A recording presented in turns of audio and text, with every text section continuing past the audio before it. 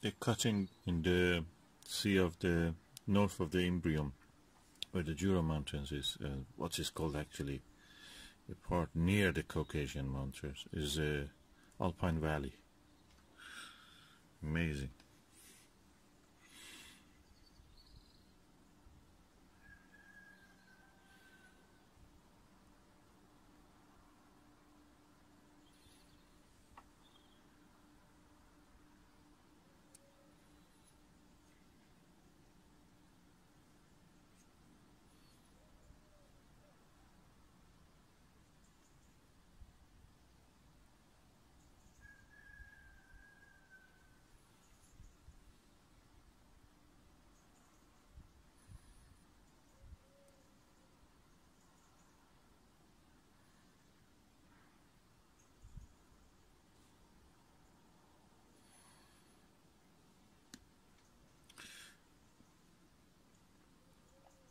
Yeah, this is lower part when you see the parallel dotted line as if parallel to that mountain inward to the um, Sea of Rains is where the Apollo 15 landed in the mountains.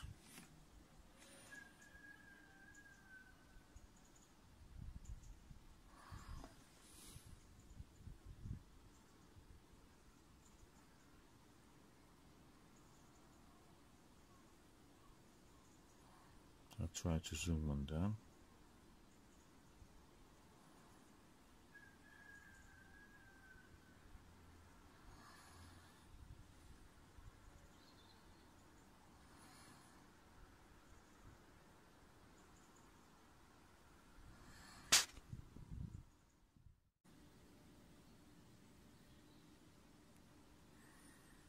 What you can see there in the center is the Copernicus crater. To the right of it is the Kepler crater. And the dot, tiny dot to the right of that Kepler, near the edge of the white area where the down to it a little lower is a black dot, that's Grimaldi. That tiny white dot is the uh, magnetic anomaly called uh, Rainer Gamma or Reiner Gamma. As you can see, the thin layer of cloud that exists in the sky. is moving. It's mist practically. And uh, yeah, the Italy-shaped uh, area to the top uh, is the Jura Mountains and uh, and you can see a tiny dot also in that Jura Mountains called Plato actually. Crater Plato the philosopher.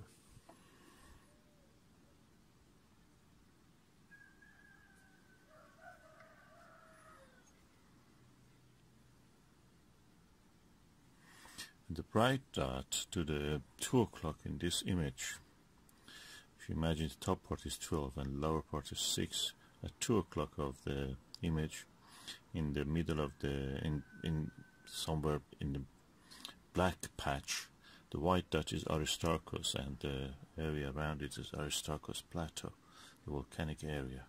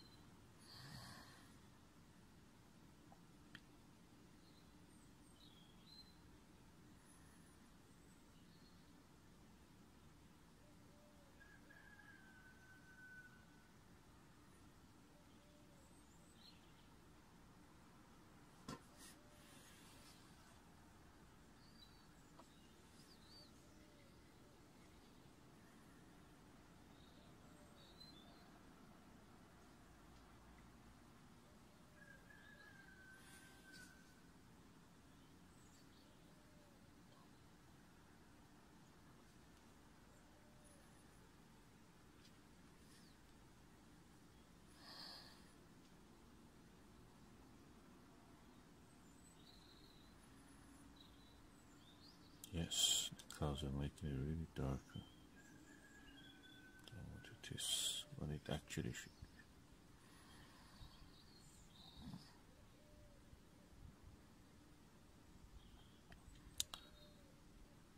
Yeah, and the circular feature, black circular feature on the top at 12 o'clock so, is the big black circle uh, is the Mare uh, um, Imbrium, Sea of the Rains, and uh, to the lower part of it, at 7 o'clock of that circle, what you can see is the mountains of the Apennine. Yeah, Apennine.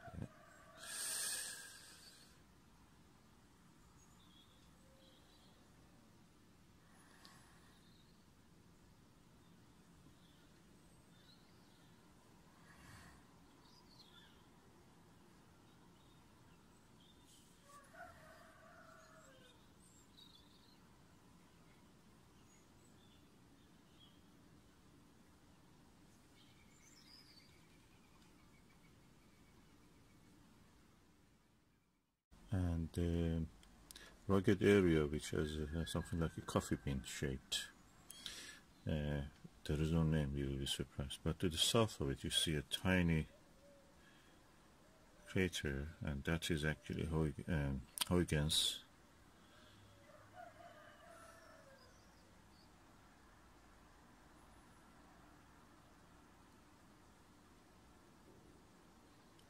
what's the reason for this vibration because the motor of the camera is not on. Probably the movement causes the camera to uh, try to focus again on it. Let me just see if I can put the focus on the manual.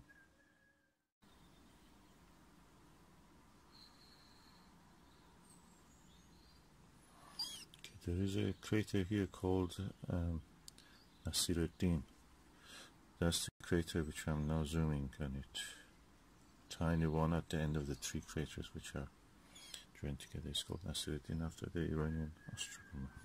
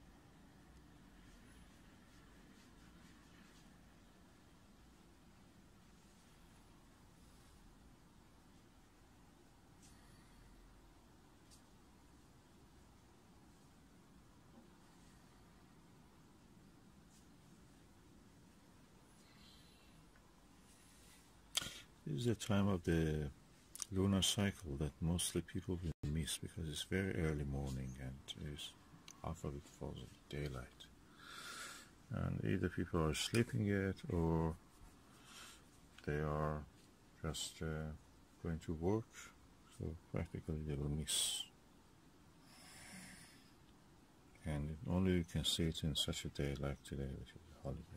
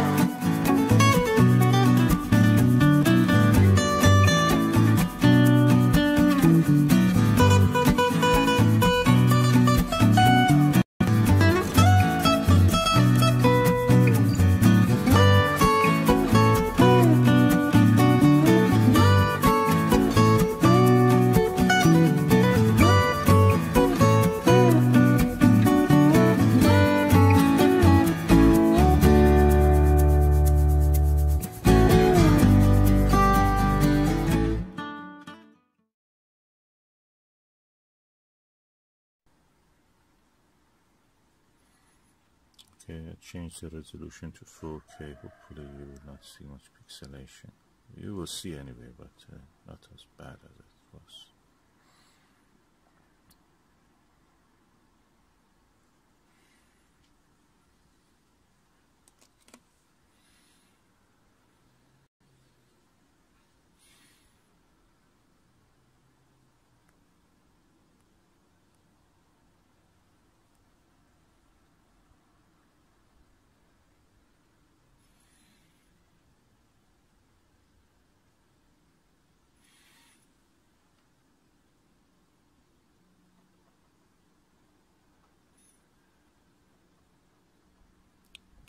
What you see is now passing the center of the picture hopefully is what is called as Aristarchus plateau.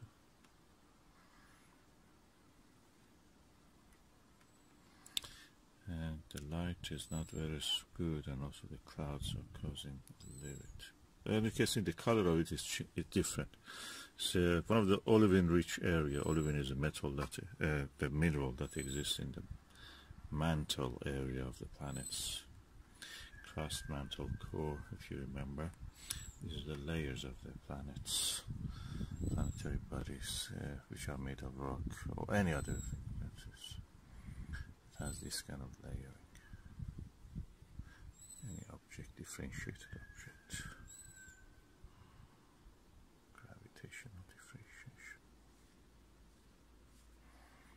so it's now passing the center top top of the center above the center.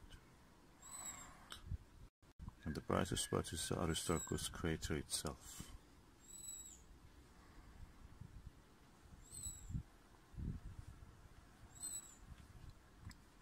And to the lower part of the image you can see the Reiner Gamma. Oh suddenly it became so clear. Try to it to the center. Yeah, now right dead center.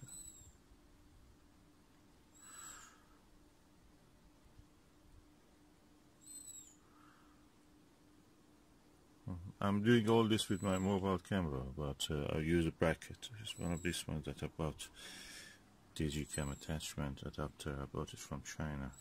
Really, I'm happy with the result.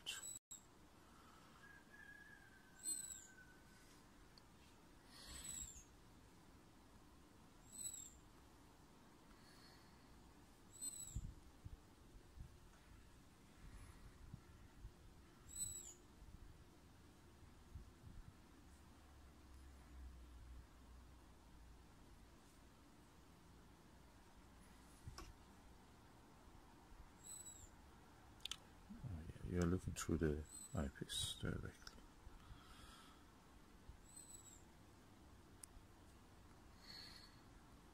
I just enjoy the view.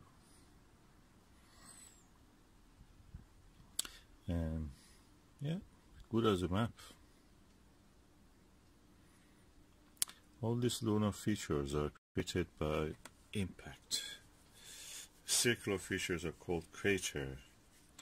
Well, the craters to me are superficial because what you see is the geological feature like mountains, faults, even faults. I've seen some faults, can you believe it, and some uh, thrust faults and faults. You have to look for them. And as my skill in digiscoping increases, I will try to show you more of these features. Aristarchus again is at 2 o'clock, and uh, at 2 o'clock or half past 3 you can see the tiny dot of the Reiner Gamma, that uh, magnetic anomaly.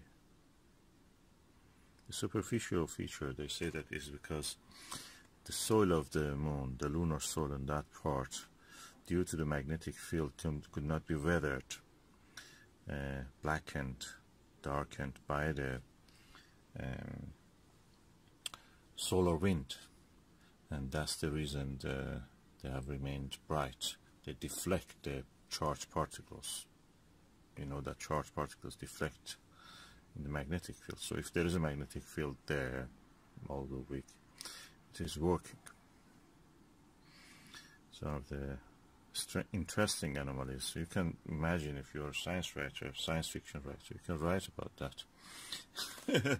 is a city or something to trying to protect itself from the damaging and carcinogenous effects of the sun and uh, yeah, magnetic storms from the sun.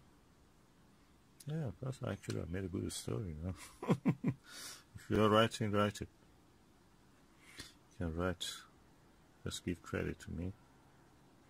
Hertfordshire.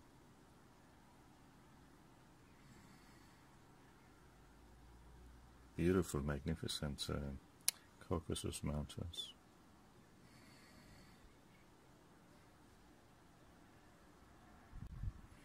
Um, the moon is a spherical. Clearly you can see when I focus on the edge of the picture, the